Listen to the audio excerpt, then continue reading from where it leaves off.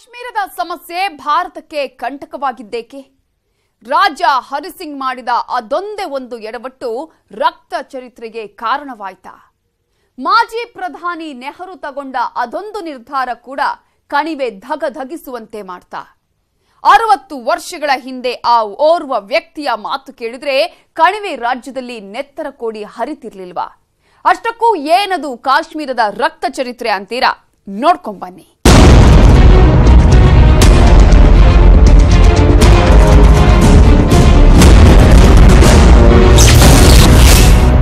ರಾಜ ಹರಿಸಿಂಗ್ನ ಆ ಎಡವಟ್ಟೆ ಕಾಶ್ಮೀರಕ್ಕೆ ಕಂಟಕವಾಯಿತ.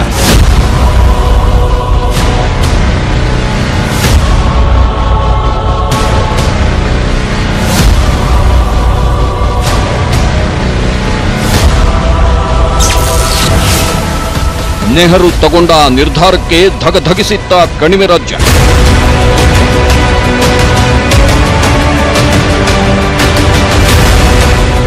The people of India have solemnly resolved to constitute India into a sovereign democratic republic and to secure to all its citizens justice, social, economic, political and equality of status and opportunity and to promote among them all fraternity assuring the dignity of the individual and the unity of the nation. ಆ ಓರ್ವ ವ್ಯಕ್ತಿ ಮಾತು ಕೇಳಿದ್ರೆ ಕಾಶ್ಮೀರದಲ್ಲಿ ರಕ್ತನೇ ಹರಿತಿರ್ಲಿಲ್ಲ.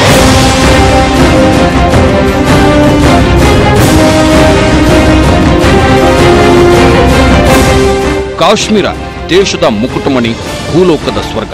ಆದ್ರೆ ಭಾರತಕ್ಕೆ ಸ್ವಾತಂತ್ರ್ಯ ಬಂದ ಮೇಲೆ ಇದು ರಣರಂಗವಾಗಿ ಹೋಗಿದೆ. ದಿನ ರಕ್ತಪಾತ, ಹಿಂಸಾಚಾರ, ಸಾವು ನೋವು, ಗದ್ದಲ ಗಲಾಟೆಗಳು ಕಾಮನ್ ಆಗಿ ಹೋಗಿದೆ.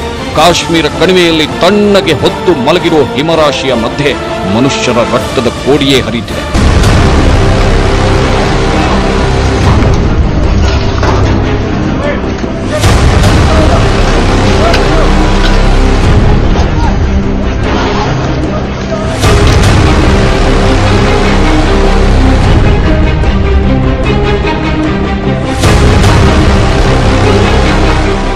ಹಾಗಾದ್ರೆ ಭೂಲೋಕದ ಸ್ವರ್ಗದಂತಿರು ಕಾಶ್ಮೀರದಲ್ಲಿ ರಕ್ತಪಾತ, ಕೊಲೆ ಹಿಂಸಾಚಾರಕ್ಕೆ ಏನು ಕಾರಣ?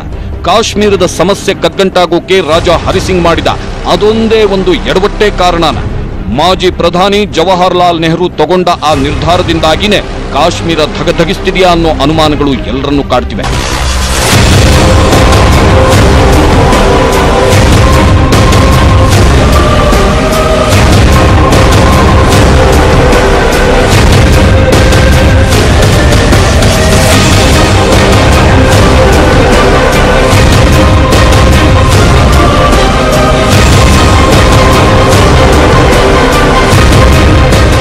ಹಾಗಾದ್ರೆ ರಾಜ ಹರಿಸಿಂಗ್ ಮಾಡಿದ ಆ ಎಡವಟ್ಟೇನು ಮಾಜಿ ಪ್ರಧಾನಿ ಜವಾಹರ್ಲಾಲ್ ನೆಹರು ತೆಗೆದುಕೊಂಡ ಆ ನಿರ್ಧಾರವಾದರೂ ಯಾವುದು?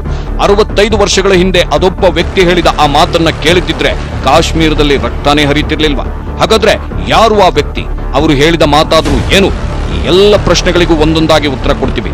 ಆದ್ರೆ ಅದಕ್ಕಿಂತ ಮೊದಲು ಆರ್ಟಿಕಲ್ ತ್ರೀ ಸೆವೆಂಟಿ ಮತ್ತು ಥರ್ಟಿ ಫೈವ್ ಎ ಅನ್ನ ಕೇಂದ್ರ ಸರ್ಕಾರ ರದ್ದುಗೊಳಿಸಿದ್ಯಾಕೆ ಅನ್ನೋದನ್ನ ತೋರಿಸ್ತೀವಿ ನೋಡಿ.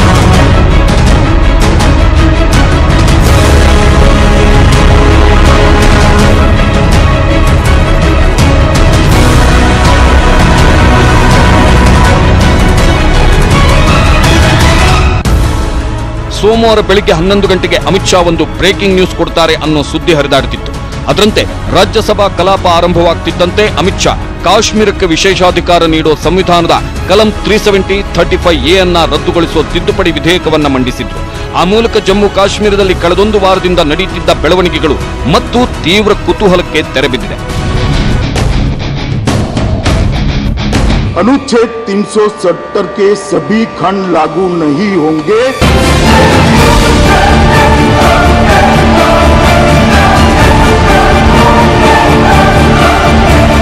ಜಮ್ಮು ಕಾಶ್ಮೀರದಲ್ಲಿ ಪ್ರತ್ಯೇಕತಾವಾದಿಗಳ ಕಿರಿಕಿರಿ ಪಾಕ್ ಉಗ್ರರ ಅಟ್ಟಹಾಸ ಎದ್ದು ಕಾಣ್ತಿತ್ತು ಇದಕ್ಕೆ ಪರ್ಮನೆಂಟ್ ಫುಲ್ ಸ್ಟಾಪ್ ಇಡೋಕೆ ಕೇಂದ್ರ ಸರ್ಕಾರಕ್ಕೆ ಸಾಧ್ಯವೇ ಆಗ್ತಿರಲಿಲ್ಲ ಕಾಶ್ಮೀರದ ಮೇಲೆ ನಿಯಂತ್ರಣವಿರಲಿಲ್ಲ ಏನೇ ಕಾನೂನಾಗಬೇಕಿದ್ರೂ ರಾಜ್ಯ ಸರ್ಕಾರದ ಅನುಮತಿ ಬೇಕಿತ್ತು ಹೀಗಾಗಿ ಸರಿಯಾಗಿ ಪ್ಲಾನ್ ಮಾಡಿದ ಪ್ರಧಾನಿ ಮೋದಿ ಅಂಡ್ ಟೀಮ್ ಕಾಶ್ಮೀರ ಕಣಿವೆಯಲ್ಲಿ ಭಾರಿ ಸಂಖ್ಯೆಯಲ್ಲಿ ಸೇನೆಯನ್ನ ಜಮಾವಣೆ ಮಾಡಿ ಪರಿಸ್ಥಿತಿಯನ್ನು ಕಂಟ್ರೋಲ್ಗೆ ತಗೊಂತು. ಆನಂತರ ಜಮ್ಮು ಕಾಶ್ಮೀರಕ್ಕೆ ವಿಶೇಷಾಧಿಕಾರ ನೀಡೋ ಸಂವಿಧಾನದ ಕಲಂ ತ್ರೀ ಸೆವೆಂಟಿ ಮತ್ತು ಥರ್ಟಿ ಫೈವ್ ಎ ಅನ್ನ ರದ್ದುಗೊಳಿಸಿದೆ. ಆ ಮೂಲಕ ಜಮ್ಮು ಕಾಶ್ಮೀರವನ್ನು ತನ್ನ ಹಿಡಿತಕ್ಕೆ ತಗೊಂಡಿದೆ ಕೇಂದ್ರ ಸರ್ಕಾರ.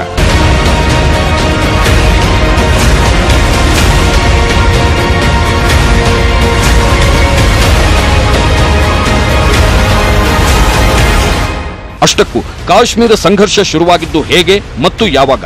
ಜಮ್ಮು ಕಾಶ್ಮೀರಕ್ಕೆ ವಿಶೇಷ ಸ್ಥಾನಮಾನ ನೀಡಿದ್ದಾದ್ರೂ ಯಾಕೆ? ಅದನ್ನ ಈಗ ವಾಪಸ್ ಪಡಿತಿರೋದು ಯಾಕೆ ಈ ಇತಿಹಾಸವನ್ನ ಕೆದಕಿ ನೋಡಿದ್ರೆ ರೋಚಕ ಸತ್ಯಗಳು ಬಯಲಾಗುತ್ತೆ.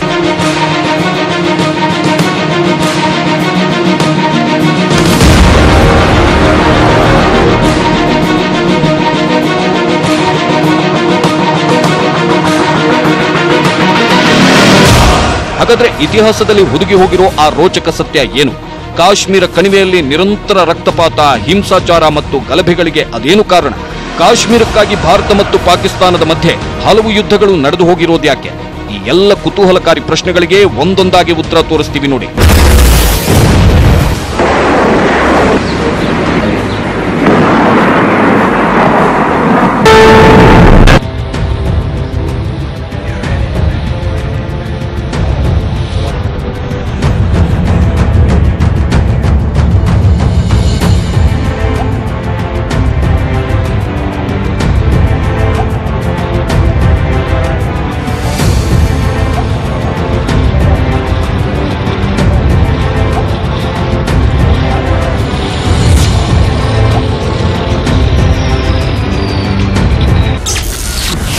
ಸಾವಿರದ ಒಂಬೈನೂರ ನಲವತ್ತೇಳು ಆಗಸ್ಟ್ ಹದಿನೈದು, ಭಾರತ ಪಾಕ್ಗೆ ಸ್ವಾತಂತ್ರ್ಯ.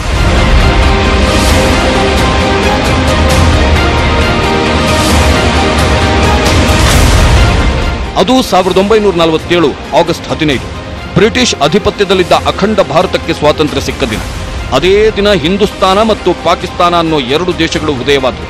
ಹೀಗಾಗಿ ಅಖಂಡ ಭಾರತದಲ್ಲಿದ್ದ ಒಟ್ಟು ಆರುನೂರ ಐವತ್ತು ಪ್ರಾಂತ್ಯಗಳು ಹಿಂದೂಸ್ತಾನ ಇಲ್ಲವೇ ಪಾಕಿಸ್ತಾನ ಈ ಎರಡರಲ್ಲಿ ಒಂದು ದೇಶಕ್ಕೆ ಸೇರ್ಪಡೆಯಾಗಬೇಕಿತ್ತು ಈ ವೇಳೆ ಕಾಶ್ಮೀರದ ರಾಜ ಹರಿಸಿಂಗ್ ಹಿಂದೂ ರಾಜನಾಗಿದ್ದರಿಂದ ಹಿಂದೂಸ್ತಾನಕ್ಕೆ ಸೇರೋ ಒಲವು ಹೊಂದಿದ್ದ. ಆದರೆ ಕಾಶ್ಮೀರದ ಬಹುಪಾಲು ಜನರು ಮುಸ್ಲಿಮರಾಗಿದ್ದರು ಅವರಿಗೆ ಪಾಕಿಸ್ತಾನದ ಜೊತೆಗೆ ಹೋಗುವ ಮನಸ್ಸಿತ್ತು. ಹೀಗಾಗಿ ಹರಿಸಿಂಗ್ ಸುಮ್ಮನೆ ಇದ್ದು ಕಾಶ್ಮೀರವನ್ನು ಪ್ರತ್ಯೇಕ ದೇಶವನ್ನಾಗಿ ಘೋಷಿಸಿಕೊಂಡಿದ್ರು.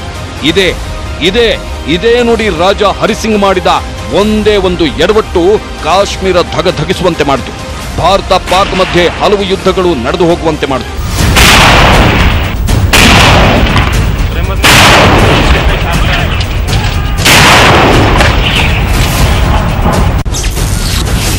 ಸಾವಿರದ ಒಂಬೈನೂರ ನಲವತ್ತೇಳು ಅಕ್ಟೋಬರ್ ಇಪ್ಪತ್ತಾರು, ಹರಿಸಿಂಗ್ ಜೊತೆ ಭಾರತ ಒಪ್ಪಂದ.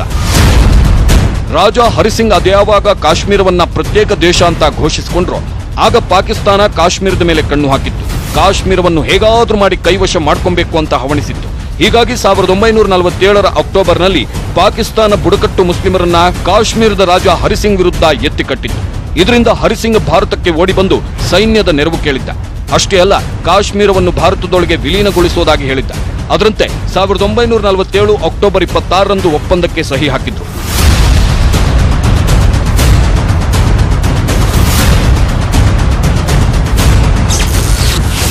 ಸಾವಿರದ ಒಂಬೈನೂರ ನಲವತ್ತೇಳು ಭಾರತ ಪಾಕ್ ಮೊದಲ ಯುದ್ಧ.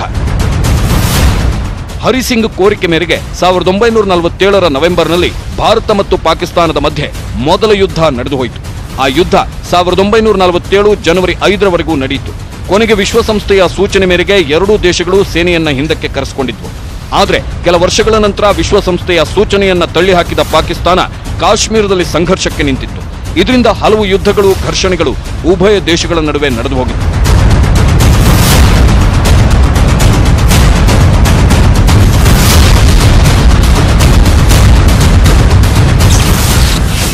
ಸಾವಿರದ ಒಂಬೈನೂರ ಐವತ್ತೇಳು, ಜನವರಿ ಇಪ್ಪತ್ತಾರು, ಕಾಶ್ಮೀರ ಭಾರತಕ್ಕೆ ಸೇರ್ಪಡೆ. ಪಾಕಿಸ್ತಾನ ಕಾಶ್ಮೀರ ವಿಚಾರವಾಗಿ ಪದೇ ಪದೇ ಕಾಲ್ಕೆರೆದು ಯುದ್ಧಕ್ಕೆ ಬರ್ತಿದ್ದರಿಂದ ಭಾರತದ ಪಿತ್ತ ನೆತ್ತಿಗೆ ಇರುವಂತೆ ಮಾಡಿತ್ತು. ಹೀಗಾಗಿ ಕೊನೆಗೆ ಸಾವಿರದ ಒಂಬೈನೂರ ಐವತ್ತೇಳರಲ್ಲಿ ಸಂವಿಧಾನದ ತ್ರೀ ಸೆವೆಂಟಿ ವಿಧಿಯಡಿಯಲ್ಲಿ ಜಮ್ಮು ಮತ್ತು ಕಾಶ್ಮೀರವನ್ನ ಭಾರತದ ಭೂಪಟದೊಳಕ್ಕೆ ಅಧಿಕೃತವಾಗಿ ಸೇರಿಸಿಕೊಳ್ಳಲಾಯಿತು. ಮುನ್ನೂರ ಎಪ್ಪತ್ತನೇ ವಿಧಿಯಂತೆ ಜಮ್ಮು ಕಾಶ್ಮೀರ ರಾಜ್ಯ ಸರ್ಕಾರದ ಅನುಮತಿ ಇಲ್ಲದೆ ಆ ರಾಜ್ಯಕ್ಕೆ ಸಂಬಂಧಿಸಿದಂತೆ ಯಾವುದೇ ನಿರ್ಧಾರವನ್ನು ಕೇಂದ್ರ ಸರ್ಕಾರ ತೆಗೆದುಕೊಳ್ಳುವಂತಿಲ್ಲ. ರಕ್ಷಣೆ, ವಿದೇಶಾಂಗ ವ್ಯವಹಾರ ಮತ್ತು ಸಂಪರ್ಕ ವಿಷಯದಲ್ಲಿ ಮಾತ್ರ ಕೇಂದ್ರಕ್ಕೆ ಅಧಿಕಾರವಿತ್ತು.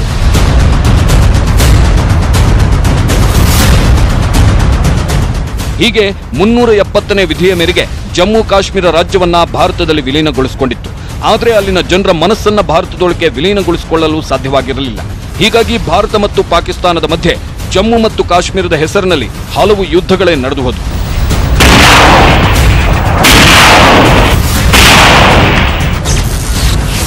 ಸಾವಿರದ ಒಂಬೈನೂರ ಅರವತ್ತೆರಡು ಏಪ್ರಿಲ್, ಭಾರತ ಪಾಕ್ ಯುದ್ಧ ಎರಡು.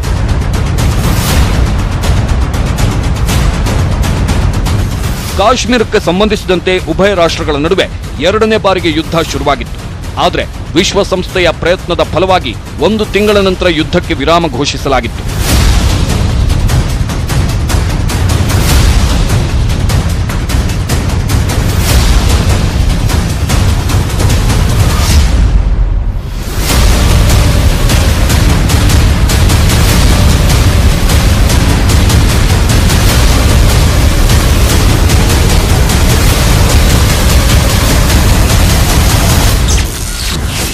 ಸಾವಿರದ ಒಂಬೈನೂರ ತೊಂಬತ್ತೊಂಬತ್ತು ಮೇ ಮೂರು ಕಾರ್ಗಿಲ್ ಯುದ್ಧ. ಸಾವಿರದ ಒಂಬೈನೂರ ತೊಂಬತ್ತೊಂಬತ್ತರಲ್ಲಿ ಭಾರತ ಪಾಕ್ ಮಧ್ಯೆ ಕಾರ್ಗಿಲ್ ಯುದ್ಧ ನಡೆಯಿತು. ಪಾಕಿಸ್ತಾನ ಸೇನೆ ಕಾರ್ಗಿಲ್ ವಶಪಡಿಸಿಕೊಂಡಿತ್ತು ಮತ್ತು ಹಿಮಾಲಯದ ಕೆಲವು ಭಾಗಗಳಲ್ಲಿ ಅತಿಕ್ರಮಣ ಮಾಡಿತ್ತು. ಇದರಿಂದ ಭಾರತ ವಾಯುದಾಳಿ ನಡೆಸಿ ಪಾಕ್ ವಶಪಡಿಸಿಕೊಂಡಿದ್ದ ಭೂಭಾಗಗಳನ್ನು ಮತ್ತೆ ತನ್ನ ವಶಕ್ಕೆ ಪಡೆದುಕೊಂಡಿತ್ತು. ಆ ಮೂಲಕ ಪಾಪಿ ಪಾಕಿಸ್ತಾನಕ್ಕೆ ಮಣ್ಣು ಮುಕ್ಕಿಸಿತ್ತು.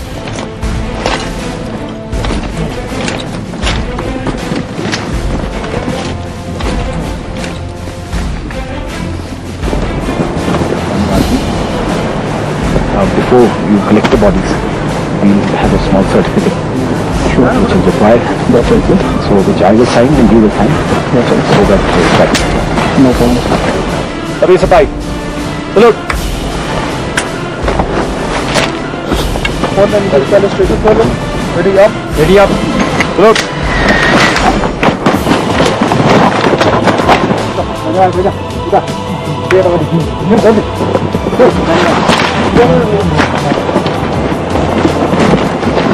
ಹೀಗೆ ಕಾಶ್ಮೀರಕ್ಕಾಗಿ ಭಾರತ ಮತ್ತು ಪಾಕಿಸ್ತಾನದ ಮಧ್ಯೆ ಹಲವು ಯುದ್ಧಗಳು, ಸಂಘರ್ಷಗಳು ನಡೆದು ಹೋಗಿವೆ.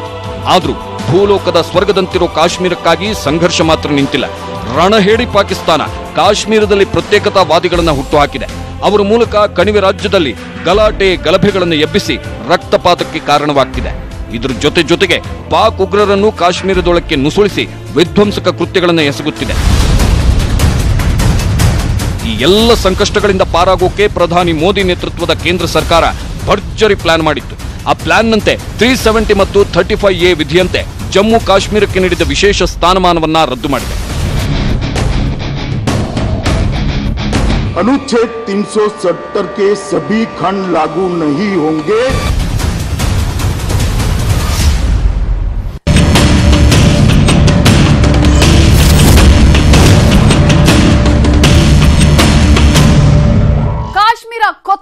ಅಂತ ಕುದಿತಾ ಇರೋದು ಯಾಕೆ?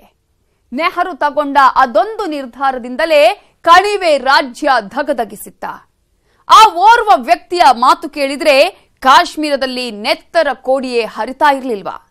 ಹಾಗಾದ್ರೆ ಯಾರು ಆ ವ್ಯಕ್ತಿ? ಅವರು ಅರುವತ್ತು ವರ್ಷಗಳ ಹಿಂದೆ ಹೇಳಿದ್ದೇನು? ಎಲ್ಲಿದೆ ನೋಡಿ pin to pin details. Article three seventy ಮತ್ತು ಥರ್ಟಿ ಫೈವ್ ಎ ಈ ಎರಡು ಆರ್ಟಿಕಲ್ಗಳು ಜಮ್ಮು ಕಾಶ್ಮೀರಕ್ಕೆ ವಿಶೇಷ ಸ್ಥಾನಮಾನ ಕೊಟ್ಟಿತ್ತು. ಆದರೆ ಈ ಎರಡು ಆರ್ಟಿಕಲ್ಗಳನ್ನು ಕೇಂದ್ರ ಸರ್ಕಾರ ರದ್ದು ಮಾಡಿದೆ. ಆ ಮೂಲಕ ಕಣಿವೆ ರಾಜ್ಯದ ಮೇಲೆ ಹಿಡಿತ ಸಾಧಿಸಲು ಮುಂದಾಗಿದೆ. ಅಷ್ಟೇ ಅಲ್ಲ, ಪಾಕ್ ಉಗ್ರರ ಅಟ್ಟಹಾಸಕ್ಕೂ ಪರ್ಮನೆಂಟ್ ಫುಲ್ ಸ್ಟಾಪ್ ಇಡೋ ಎಲ್ಲಾ ಪ್ಲಾನ್ ಮಾಡಿದೆ.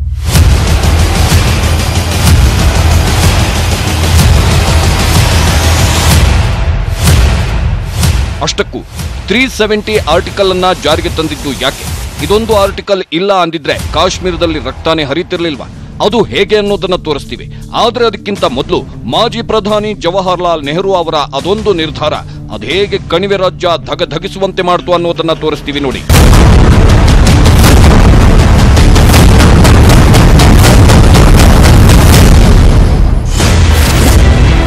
ನೆಹರು ತಗೊಂಡ ಆ ನಿರ್ಧಾರ ಯಾವುದು? ಆ ನಿರ್ಧಾರದಿಂದಾಗಿನೇ ಧಗಧಗಿಸ್ತಿದೆಯಾ ಕಾಶ್ಮೀರ.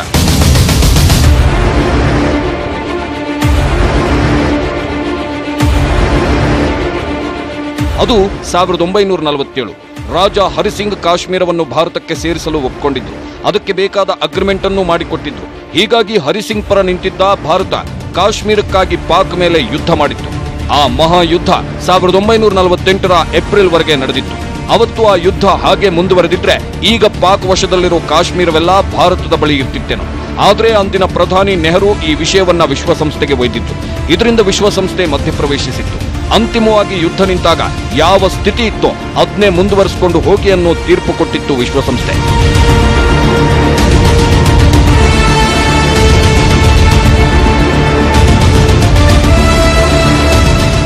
ಅವತ್ತು ವಿಶ್ವಸಂಸ್ಥೆ ಕೊಟ್ಟ ತೀರ್ಪಿನಿಂದಾಗಿ ಕಾಶ್ಮೀರ ಕಣಿವೆ, ಜಮ್ಮು ಮತ್ತು ಲಡಾಖ್ ಭಾರತದ ವಶವಾದ್ರೆ ಪಾಕ್ಗೆ ಆಜಾದ್ ಕಾಶ್ಮೀರ ಮತ್ತು ಗಿಲ್ಗಿಟ್ ಬಾಲ್ಟಿಸ್ತಾನ ದಕ್ಕಿತ್ತು.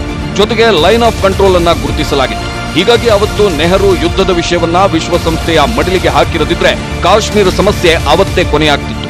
ಸುಮಾರು ಎಪ್ಪತ್ತು ವರ್ಷಗಳ ಕಾಲ ಕಾಶ್ಮೀರ ಸಮಸ್ಯೆ ಧಗಧಗಿಸ್ತಾನೆ ಇರ್ತಿರಲಿಲ್ಲ ಅನ್ನೋ ವಿಶ್ಲೇಷಣೆಗಳಿವೆ.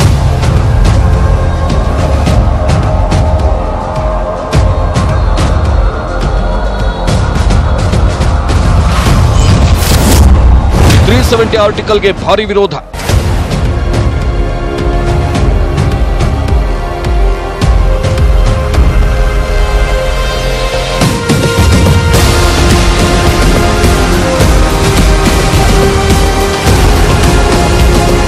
ನೆಹರು ನಿರ್ಧಾರದಿಂದಾಗಿ ಭಾರತ ಮತ್ತು ಪಾಕ್ ನಡುವೆ ಸಂಘರ್ಷ ಏರ್ಪಟ್ರೆ ಮತ್ತೊಂದು ಕಡೆ ಆರ್ಟಿಕಲ್ ತ್ರೀ ಸೆವೆಂಟಿ ಮತ್ತೊಂದು ಸಂಕಷ್ಟಕ್ಕೆ ನಾಂದಿ ಹಾಡಿತ್ತು ಎನ್ನಲಾಗುತ್ತೆ. ಹೀಗಾಗಿ ಈ ಆರ್ಟಿಕಲ್ ರಚನೆಯಾದಾಗಲೇ ಭಾರಿ ವಿರೋಧ ವ್ಯಕ್ತವಾಗಿತ್ತು.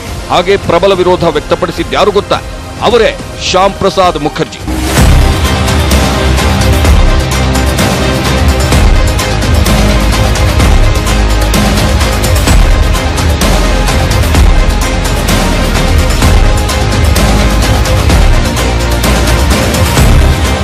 ಶ್ಯಾಮ್ ಪ್ರಸಾದ್ ಮುಖರ್ಜಿ, ಭಾರತೀಯ ಜನಸಂಘದ ಸಂಸ್ಥಾಪಕರು.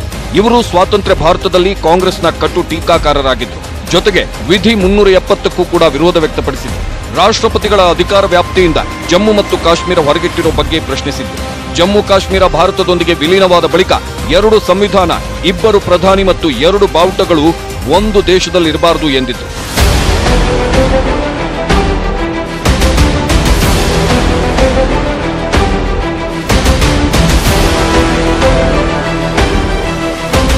ತ್ರೀ ಸೆವೆಂಟಿ ಆರ್ಟಿಕಲ್ ಬಗ್ಗೆ ದೇಶದಾದ್ಯಂತ ಜಾಗೃತಿ ಮೂಡಿಸೋಕೆ ಶ್ಯಾಮ್ ಪ್ರಸಾದ್ ಮುಖರ್ಜಿ ಅವರೊಂದಿಗೆ ಅಟಲ್ ಬಿಹಾರಿ ವಾಜಪೇಯಿ ಕೂಡ ದೇಶಾದ್ಯಂತ ಸಂಚರಿಸಿದ್ರು. ಆದ್ರೆ ಇದೇ ವೇಳೆ ಅಂದ್ರೆ ಸಾವಿರದ ಒಂಬೈನೂರ ಐವತ್ಮೂರರಲ್ಲಿ ಇವರನ್ನ ಪೊಲೀಸರು ಬಂಧಿಸಿದ್ರು. ಪೊಲೀಸರ ವಶದಲ್ಲಿದ್ದ ಮುಖರ್ಜಿ ಅದೇ ವರ್ಷ ಸಾವನ್ನಪ್ಪಿದ್ರು. ಆ ಮೂಲಕ ಜಮ್ಮು ಕಾಶ್ಮೀರ ಪ್ರವೇಶಕ್ಕೆ ನಡೆಯುತ್ತಿದ್ದ ಹೋರಾಟ ಕೂಡ ಅಂದೇ ಅಂತ್ಯವಾಗಿತ್ತು. ಅವತ್ತು ಶ್ಯಾಮ್ ಪ್ರಸಾದ್ ಮುಖರ್ಜಿ ಮಾತನ್ನ ಕೇಳಿದ್ರೆ ಕಳೆದ ಅರವತ್ತು ವರ್ಷಗಳ ಕಾಲ ಕಾಶ್ಮೀರದಲ್ಲಿ ರಕ್ತಾನೆ ಹರಿತಿರ್ಲಿಲ್ಲ ಅಂತ ಹೇಳಲಾಗುತ್ತೆ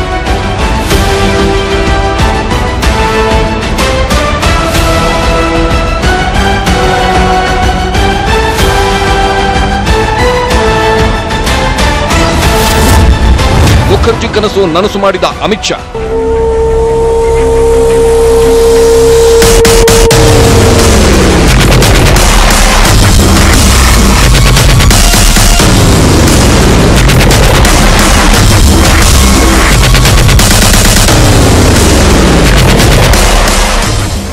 ಆರ್ಟಿಕಲ್ ತ್ರೀ ಸೆವೆಂಟಿಯನ್ನ ರದ್ದು ಮಾಡಿಸಬೇಕು ಅನ್ನೋ ಶ್ಯಾಮ್ ಪ್ರಸಾದ್ ಮುಖರ್ಜಿ ಅವರ ಕನಸನ್ನ ಇಂದು ಅಮಿತ್ ಶಾ ನನಸು ಮಾಡಿದ್ದಾರೆ ಅನ್ನೋ ವಿಶ್ಲೇಷಣೆಗಳಿವೆ.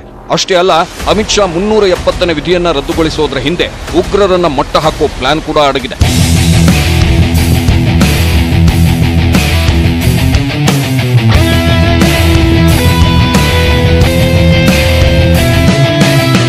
ಕಾಶ್ಮೀರದ ವಿಷಯವಾಗಿ ಪಾಕಿಸ್ತಾನ ಪದೇ ಪದೇ ಗಡಿಯಲ್ಲಿ ಉದ್ವಿಗ್ನ ಪರಿಸ್ಥಿತಿ ನಿರ್ಮಾಣ ಮಾಡುತ್ತಿದೆ ಉಗ್ರರನ್ನು ಭಾರತದೊಳಗೆ ನುಸುಳಿ ಬಿಡುವ ಮೂಲಕ ಅಮಾಯಕರ ನೆತ್ತರ ಕೋಡಿಯನ್ನೇ ಹರಿಸುತ್ತಿದೆ ಅದರಲ್ಲೂ ಮೋದಿ ಪ್ರಧಾನಿ ಆದ್ಮೇಲೆ ಪಾಕ್ ಉಗ್ರರ ಉಪಟಳ ಮತ್ತಷ್ಟು ಹೆಚ್ಚಾಗಿತ್ತು. ಪಠಾಣ್ಕೋಟ್ ದಾಳಿ, ಉರಿ ಸೇನಾ ಶಿಬಿರಗಳ ಮೇಲಿನ ದಾಳಿ ಮೋದಿ ಪಿತ್ತ ನೆತ್ತಿಗೇರುವಂತೆ ಮಾಡಿತ್ತು. ಆಗಲೇ ನೋಡಿ ಸರ್ಜಿಕಲ್ ಸ್ಟ್ರೈಕ್ ಮೂಲಕ ಮೋದಿ ಪಾಕ್ಗೆ ಮುಟ್ಟಿ ನೋಡಿಕೊಳ್ಳುವಂತಹ ತಿರುಗೇಟು ಕೊಟ್ಟಿತ್ತು.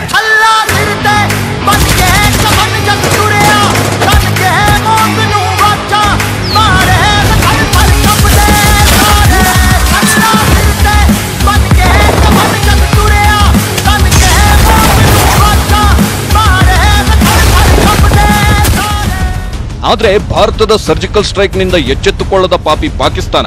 ಕಳೆದ ಫೆಬ್ರವರಿ ತಿಂಗಳಲ್ಲಿ ಪುಲ್ವಾಮಾದಲ್ಲಿ ಸೇನಾ ಕನ್ವಾಯ್ ಮೇಲೆ ಬಾಂಬ್ ದಾಳಿ ಮಾಡಿಸಿತ್ತು. ಅದಕ್ಕೆ ಪ್ರತೀಕಾರ ಎಂಬಂತೆ ಮೋದಿ ಉಗ್ರರ ಶಿಬಿರಗಳ ಮೇಲೆ ಏರ್ ಸ್ಟ್ರೈಕ್ ಮಾಡುತ್ತಿತ್ತು ಆದರೆ ಇದಕ್ಕೂ ಪಾಕ್ ಬಗ್ಗಲ್ಲ. ಮತ್ತೆ ಮತ್ತೆ ತನ್ನ ಅಟ್ಟಹಾಸ ತೋರುತ್ತೆ ಅಂತ ತಿಳಿದ ಮೋದಿ ಎರಡನೇ ಸಲ ಗೆದ್ದು ಬಂದ ಕೂಡಲೇ ಕಾಶ್ಮೀರದಲ್ಲಿ ಭರ್ಜರಿ ಸರ್ಜರಿ ಮಾಡೋಕೆ ಮುಂದಾಗಿದ್ರು. ಆದ್ರೆ ಕಾಶ್ಮೀರಕ್ಕೆ ಕೊಟ್ಟಿರೋ ವಿಶೇಷ ಸ್ಥಾನಮಾನ ಹಿಂಪಡೆಯದ ಹೊರತು ಪಾಕ್ ಉಗ್ರರ ಅಟ್ಟಹಾಸಕ್ಕೆ ಬ್ರೇಕ್ ಹಾಕೋಕೆ ಸಾಧ್ಯವೇ ಇಲ್ಲ ಎಂದು ಅರಿತ ಮೋದಿ. ಆರ್ಟಿಕಲ್ ತ್ರೀ ಸೆವೆಂಟಿ ಮತ್ತು ಥರ್ಟಿ ಫೈವ್ ಎ ಅನ್ನ ರದ್ದುಗೊಳಿಸಿದ್ದಾರೆ ಅನ್ನೋ ವಿಶ್ಲೇಷಣೆಗಳಿವೆ.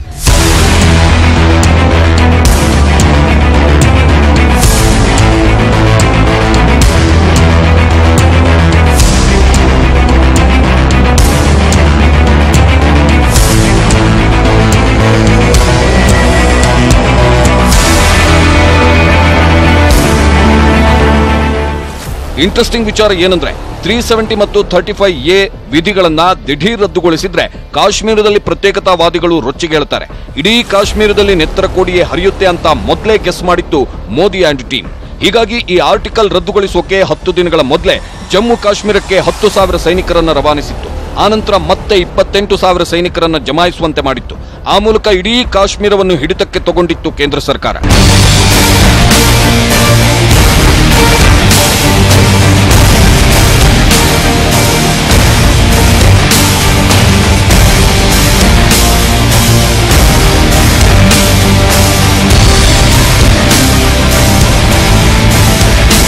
ಅಷ್ಟೇ ಅಲ್ಲ, ಜಮ್ಮು ಕಾಶ್ಮೀರದ ಪ್ರಮುಖ ರಾಜಕಾರಣಿಗಳನ್ನ ಗೃಹಬಂಧನದಲ್ಲಿರಿಸಿತ್ತು.